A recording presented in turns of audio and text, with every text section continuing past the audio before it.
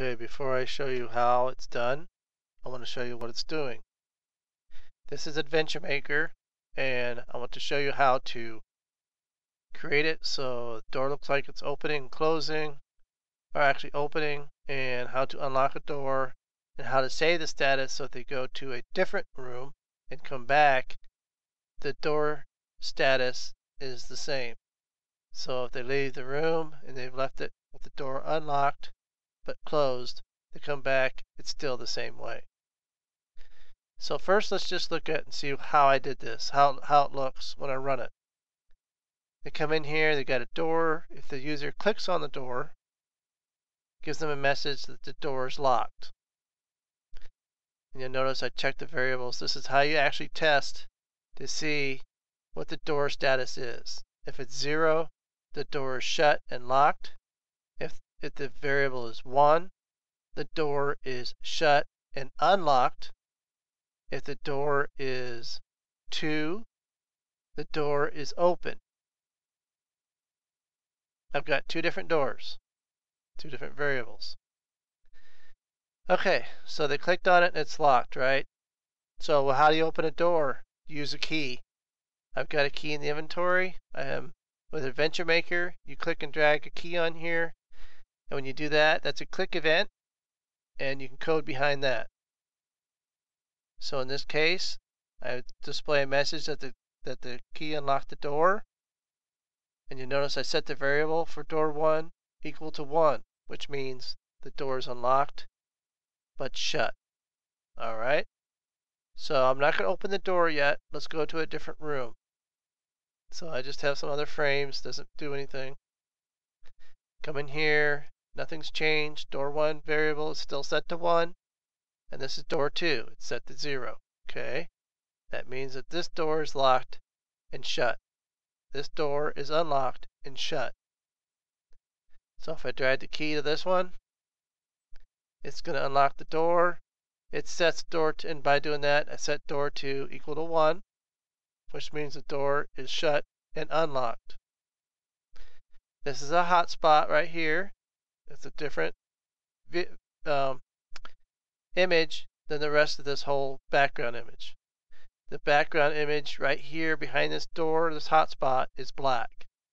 So if I were to click on this again, it'll set door 2 equal to 2, which means the door is open.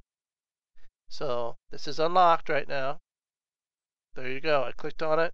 The door is open. And now if I wanted to, I could go through here but I didn't want to add more frames, so I just say it's too dark. That means this is what happens when I, they clicked on that hotspot and the door is unlocked. I set door 2 equal to 2. And that's how I know by checking my status of my variable when they click is what what it should be next after they click and what what what the situation is with the hotspot. So we back go back to, to room number one. Door 2 in the other room is still 2, which means the door's open. Doorway's open. And in this case, door 1 is still, it's unlocked, and but it's shut. So if I click on this door, which is a hotspot, I'm going to set the image to transparent for this hotspot, which makes it appear the door is open. I just hide that hotspot. And this hotspot's still clickable, it's still enabled, so I can go and click on it and check the status. And in this case, the status for door number one is 2, which I know it's open. And since I know it's open when they click on it, I give them this message and say, oh, the door is open. So I go ahead and decide that they can't go in because they don't have light. Or I could go ahead and go to another frame for that room that's behind this dark area. So that's how it's done. It's all about uh, checking your variables for door 1 and door 2 and tracking them. So you have some if conditions and you have some settings for these. And you just manipulate the hotspot. There's three areas that you will set. There's clicking on the hotspot itself.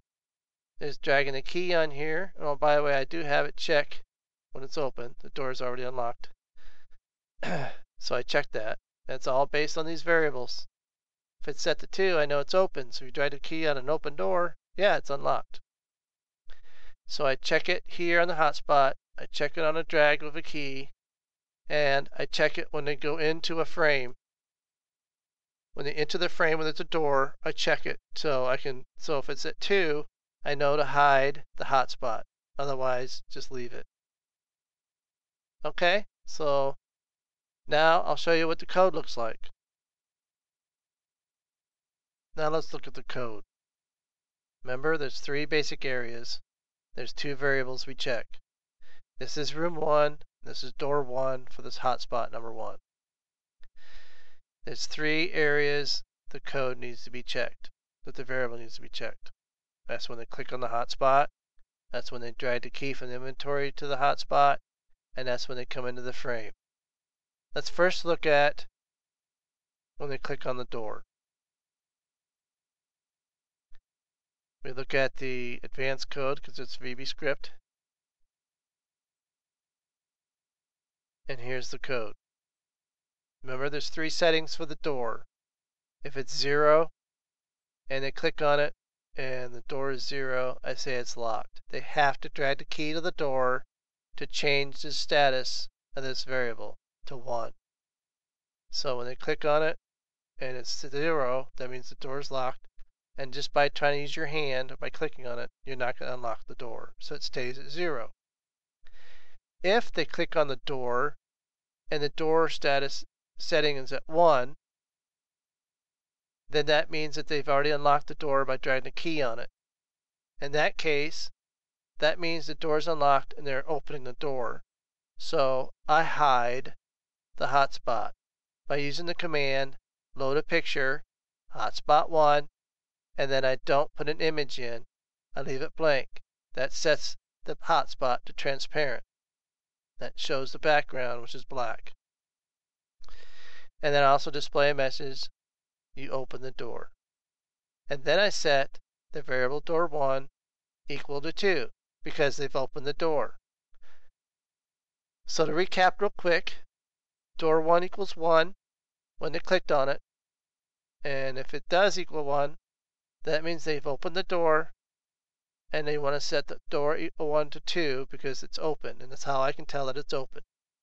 If they come back with the door open they click on it, now I can either go to a new frame because they're walking through the doorway or in my case I didn't want to make more frames and I just say it's too dark, you need to get some light. Okay? And that's how you would do for any door. So if you got more other doors, you would have another variable for that door, like door 2, door 3, door 4, however many doors you want, and it doesn't matter what frame they're in. This is the code you would use on that hotspot.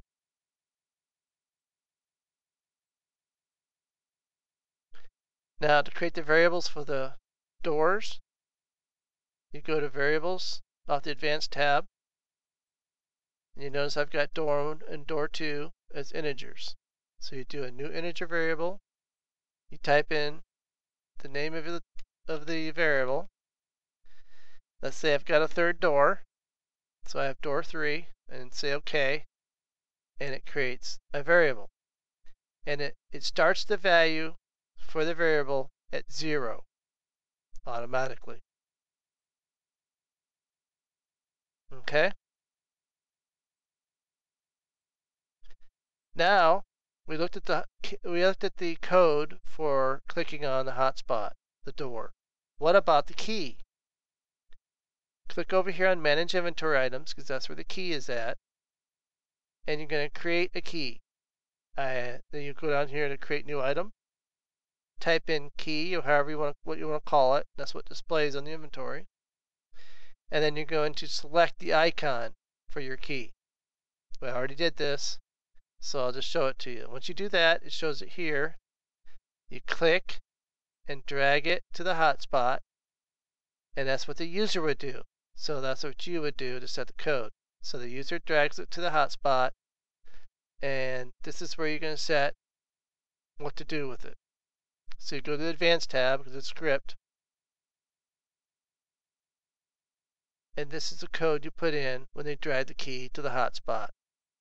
If door 1 equals 0, that means if the if the variable is zero, means this, if the doors, the hotspot is shut and locked. Then, since I dragged the key to it, let's unlock it. So you set door 1 to 1, and that means the door is shut and unlocked. And I displayed a message that the door is unlocked. And this is, means when it's 1 that it's unlocked. If door 1 is not 0, that means it's either already unlocked or the door is open and unlocked. So it's either 1 or 2, right? So if it's not 0, then I go to else statement and I say the doors are already unlocked. This is all the code you need for dragging the key on the door.